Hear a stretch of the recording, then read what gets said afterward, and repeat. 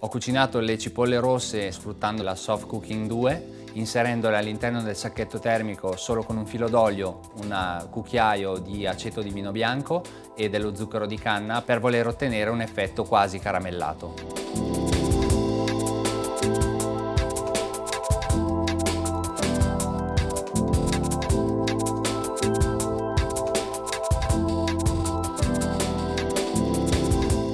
La cottura infrarosso è una tecnica molto antica, paragonabile a quello che eh, è il calore della brace che genera infrarosso.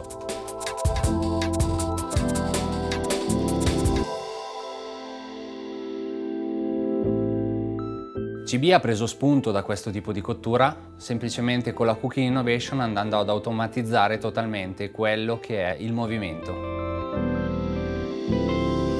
Deciso di cuocere la costina in eh, modalità soft 2 perché mi permette di ottenere un risultato molto morbido e quindi utilizzando questo tipo di cottura andare a sciogliere quello che è il collagene e i grassi all'interno della costina.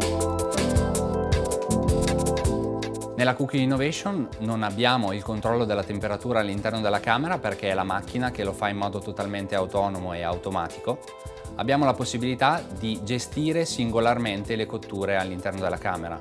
Ogni singola asta all'interno è numerata e abbiamo una programmazione per ognuna di esse.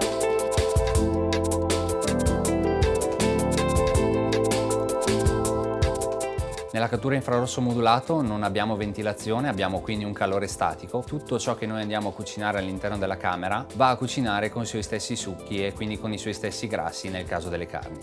Il vantaggio grosso sulle verdure intere per esempio o sulle carni va a mantenere molto quelli che sono i liquidi all'interno dell'alimento. Il prodotto rimane molto più umido e molto più piacevole al consumo.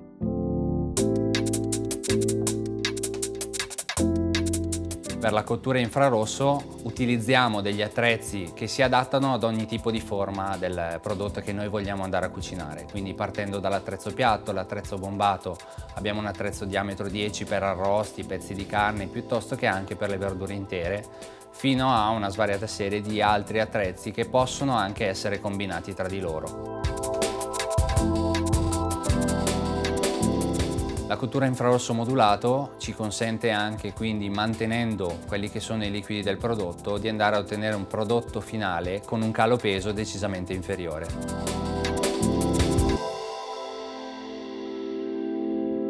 Il risultato finale è una costina dove l'osso si sfila perfettamente solamente utilizzando le mani. In fase di impiattamento ho disposto della senape sulla base del piatto, alternato dei cubi di costina e dei ciuffetti di cipolle rosse caramellate.